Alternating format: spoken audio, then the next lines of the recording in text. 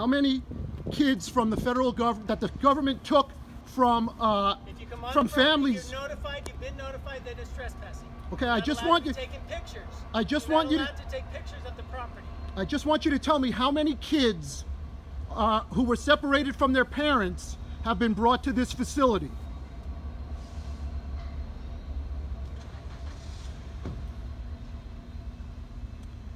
Hey, welcome to a special edition of Be Less Stupid. It's our first with actual breaking news. Earlier today, I went to visit a shelter facility here in Southern California where the federal government has sent an undeterminable number of kids who were separated from their parents at the US border. Could you turn that off, please? Sure. You have no authority.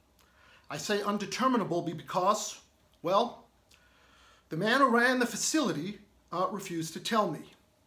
I asked him I several you know times. that you can't be on our property. I just want to know, can you tell me how many kids do you have? I'm Here. not commenting.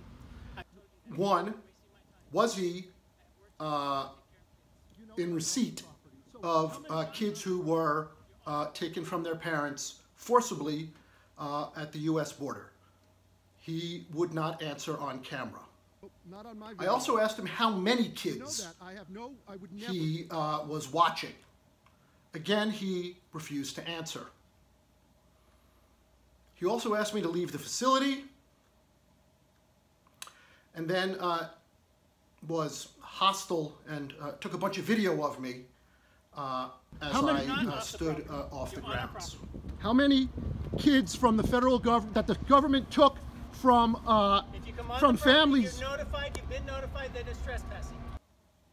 Now, I will say this. Off camera, he did intimate that they were in fact in receipt of children who had been separated from their parents. He, however, did not want to speak on camera, and my suspicion in that he was hostile towards me.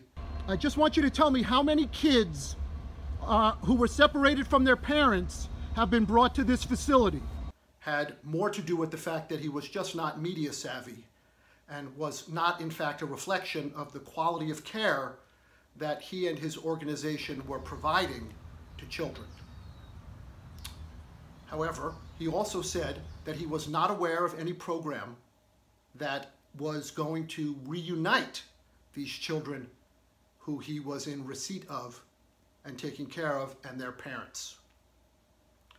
So that's all I got. I'll keep uh, looking into it. Uh, as for the kids, uh, you can keep track of them. Uh, the Washington Post, I'll put up the website, has uh, a map, an interactive map, where they're asking people to crowdsource if they know where children who've been separated from their parents are being held or kept. Uh, anyway, uh, we all have to do something. This, quite frankly, is just a, I gotta say, it's a horrible situation. So, that's it.